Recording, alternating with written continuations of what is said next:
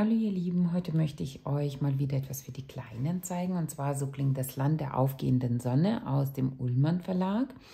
Das Buch hat zwölf Seiten, kostet 11,90 und wird ab einem Jahr empfohlen. In diesem Buch geht es um Japan. Man lernt ganz spielerisch einige interessante Sachen über das wunderschöne Land kennen, zum Beispiel wie die Kirschblüte heißt, nämlich Sakura.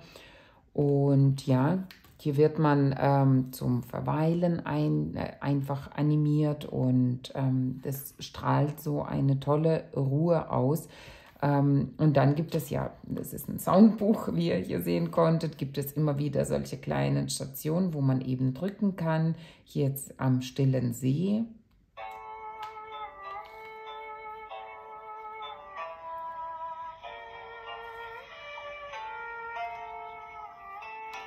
Genau.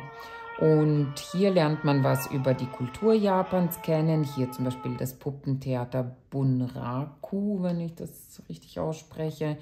Ähm, das ist einfach mal wieder so ein Buch für die ganz kleinen Kinder, ähm, da es einfach so schön mit Musik ähm, begleitet wird viele tolle bunte Zeichnungen enthält und einfach einen sehr überschaubaren Text hat.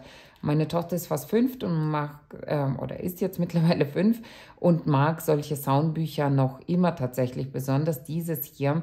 Es strahlt einfach mit der tollen Musik so viel Ruhe aus und sie genießt es, wenn wir uns das Buch einfach gemeinsam anschauen bzw. anhören.